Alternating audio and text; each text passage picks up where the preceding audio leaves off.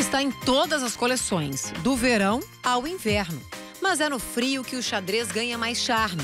Talvez porque as roupas de frio sejam mais elegantes, assim como o xadrez. O xadrez é uma das estampas mais antigas que se conhece e remonta aos celtas desde 2 mil anos antes de Cristo. Desde então, ele vem sendo utilizado pelas famílias de classes mais altas, as famílias mais tradicionais, e foi só nos anos 70 que ele passou a ser utilizado ironicamente, justamente para demonstrar essas diferenças sociais. Hoje ele está mais democrático, mas não perdeu o charme em qualquer que seja o modelo de xadrez. Aliás, você sabe quais são eles? Existem diversos tipos de xadrez. Tem xadrez de origem francesa, de origem escocesa, de origem indiana. Cada um deles é de um tipo diferente e serve para a gente montar looks diferentes. Então, para um, um look mais tradicional de trabalho, talvez um príncipe de Gales, que tem tons de cinza ou de bege, marrom, seja mais adequado. É, também a gente pode usar, a gente usa muito no Brasil o xadrez madraz, que é de origem indiana. É um xadrez bem coloridão, a gente usa muito aqui nas festas juninas. Mas isso não é regra, claro.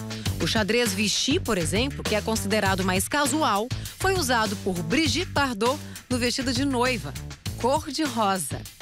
Nessa coleção de outono e inverno, o xadrez veio com tudo, principalmente nos tons neutros mas as peças diferentes ganham destaque.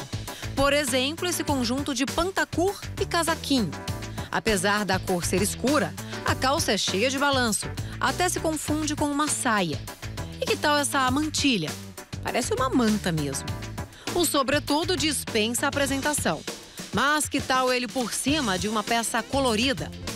Agora, se você ainda fica temerosa com o xadrez, aqui vai uma dica da Josiane. Para você que nunca usou um xadrez, que tem essa resistência do xadrez, eu acho legal você começar a experimentar coisas novas. E para iniciar, para você não ter o choque, começa num xadrez monocromático. Num xadrez que você não enxergue tanto a padronagem daquele xadrez que vai marcar muito.